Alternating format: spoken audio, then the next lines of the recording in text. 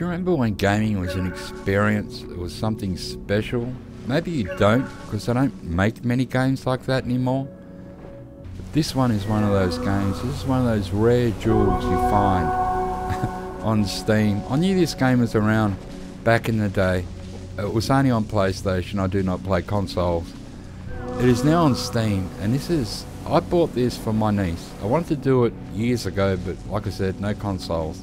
So I bought this for my niece. and thought this would be a great game just to watch her play and you know see what she thinks of it because I knew this game had won so many awards. It was I think in its category Game of the Year. And I gotta say, it is beautiful. This is like a piece of art. I think in a hundred years they may look back on this and say, yeah, this is like art from that time because that's what this is. It is beautiful, easy game design. And if you have a team and you're finding it very hard to buy a game for them, this is the game. This game is a metaphor on life, on the start of life, right to the end, and what happens in between. And as you journey around, you do come across other players. You cannot communicate in this game like you can't talk. You can just play like a little chime, a musical chime to each other, and take the journey together.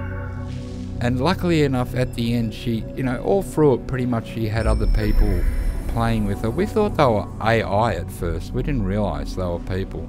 And at the end, there was another person with her.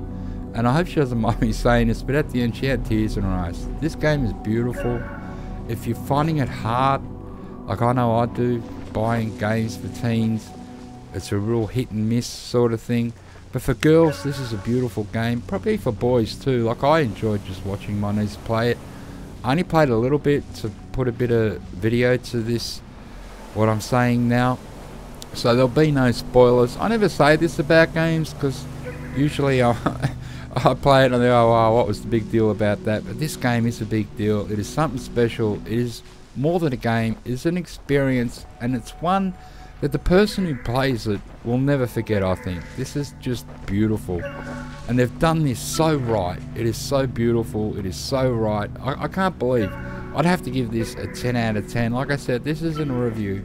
If you do have teen girls and you're looking for something to buy them and an experience, this is an experience. You can take them to the movies and spend $15 and buy the popcorn and the ice cream, so they're going to be up for like 30 bucks.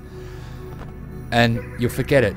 Next day, you're not even worried about that movie. This will stay with the kid forever, I think. And it is very replayable because there's you know achievements and if you get find every clue I think your uh, clothes you wear turn to white to show that you have found everything and like I said you'll always find other players in this game who will take the journey with you it was just beautiful uh, that was the highlight of my weekend watching my niece play this I've gotta say it is short it is short and sweet it only goes maybe two hours most people will complete this game in but it is a two hours you will never forget. Let me just read one of the comments here. I went through the Steam comments and there are so many.